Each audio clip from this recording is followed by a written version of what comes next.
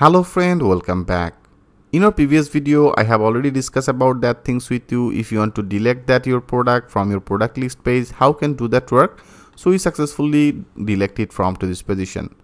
In this video, I want to discuss about the show page. If you click on the show page, it should be redirected to another page with all that our information.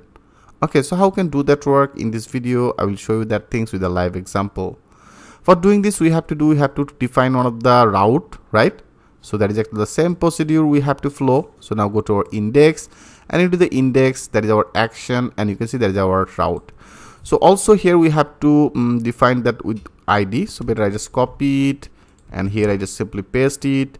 And now i want to do i want to create one of the url as a show.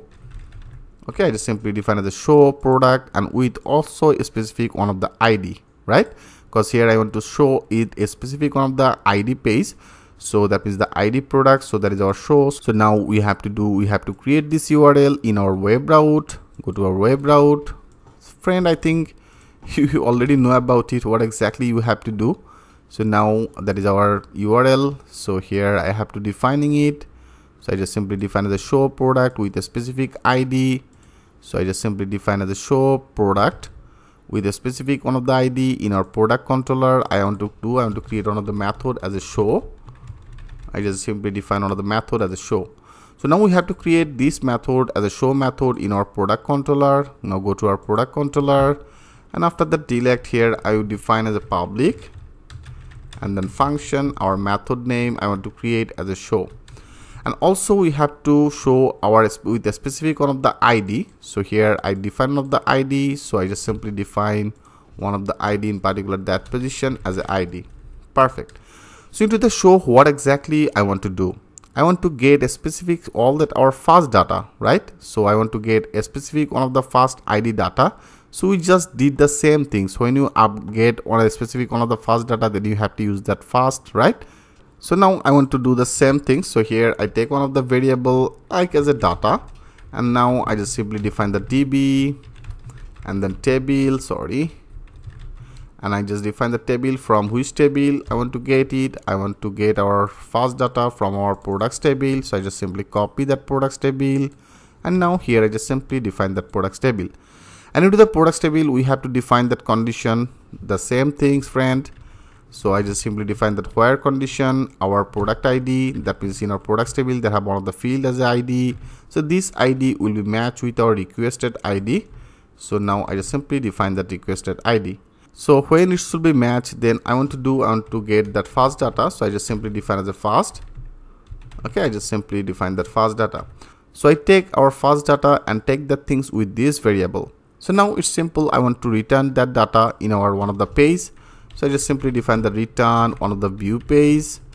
So I want to return it one of the view page. Where exactly our view page? I have already created in our products table that is our show, right? so now I just simply define our product. Okay that means on a product folder I have already created another page as a show page. Here I want to pass it. So if you want to pass that all data then you have to do you have to compact it right? So I just take all the data take the things with this variable. Now I pass it with this compact. So I just simply pass it so now I can access our this fast specific data in our show page, right? Because I just compact it. So now we have to do, we have to work in our show page. So now go to our show page. So right now this is totally blank. So better, you know, edit into the edit uh, like this part will be needed that extension so i just simply define that extension and also we have to end that section sorry so i just simply end that section as a and and section. Perfect. So now here i want to do i want to load our some of the design page like if you go to the edit page uh, like in our edit page they have some of the row. So i want to take this row okay? I just copy it. I have already discussed about that things with you what exactly the things i want to do. So i just name it as a show product okay? Show product page and then there is a pull right there is a back. If you now click on the save all and now if you go here and refresh it again now click on the show.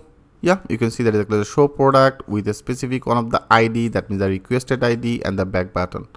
So here i want to designing it. Okay so here that is our row. So after this okay after this here i take one of the another row. I just take one of the another div. And here i define that as a class as a row class. And then i take another div so here i define the class. I just define the class as a call. Okay i just define as a call access so access and the 12 but I take as a 12 because I want to make the things as a total.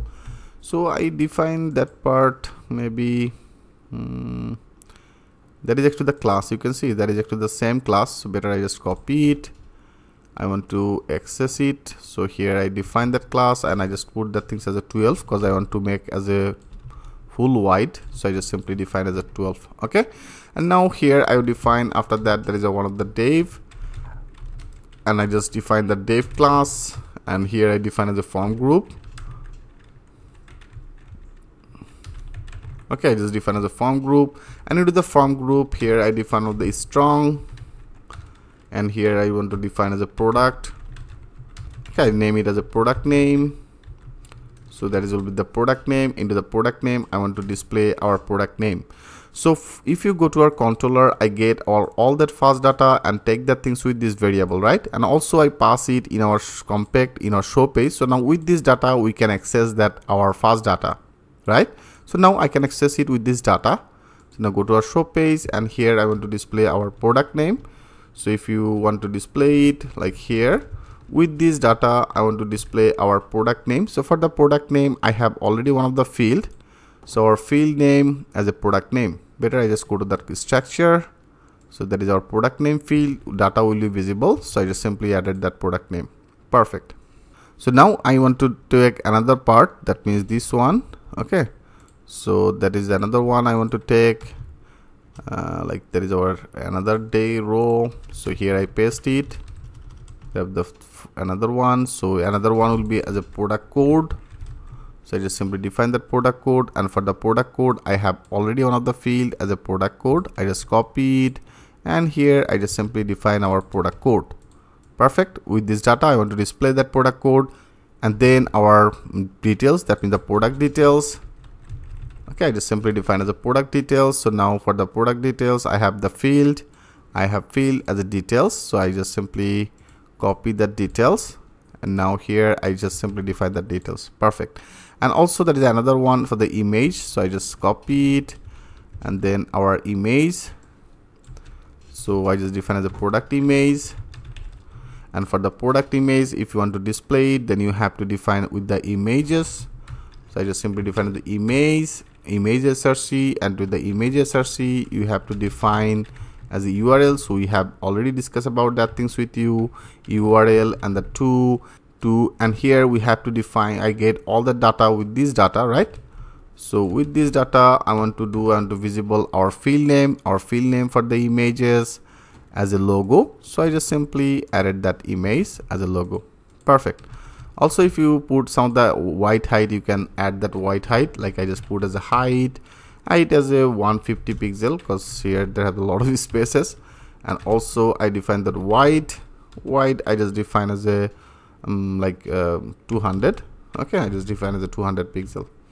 Perfect so friend I think you can well understand about it. From here I get our specific all the data and I pass it. So now I can access it in our show page and to the show page with this data I display our logo.